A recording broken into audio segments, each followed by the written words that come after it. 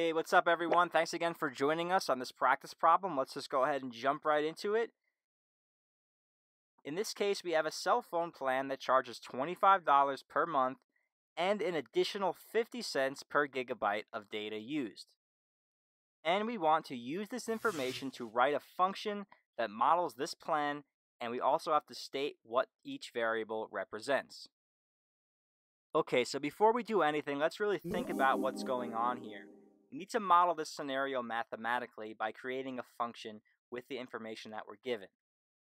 So with this particular cell phone plan, we have to pay $25 a month just to have the phone. And on top of that $25 a month, we have to add an extra 50 cents per every gigabyte of data that we use. So we're paying that $25 no matter what, and whatever extra money on top of that depends on how many gigabytes of data that we use. This is a good start to structure a function here. So let's imagine a month where we use 0 gigabytes of data. We wouldn't have to pay any extra fee since 50 cents times 0 is just 0 and we're left with the original $25 fee. Let's just say that we use 1 gig of data in a month. In this case, 50 cents times 1 is just 50 cents. And then $25 plus 50 cents would be a $25.50 monthly bill.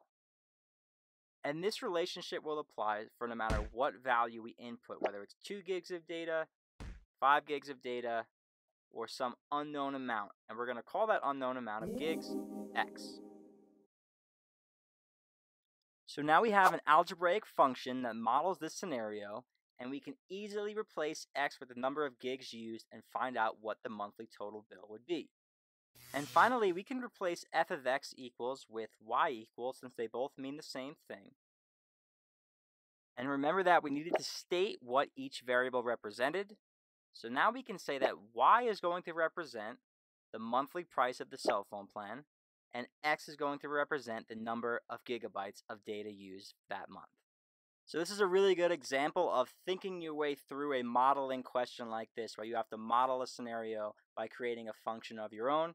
So keep these ideas in mind as you continue to practice and get better at algebra, and we'll see you guys next time.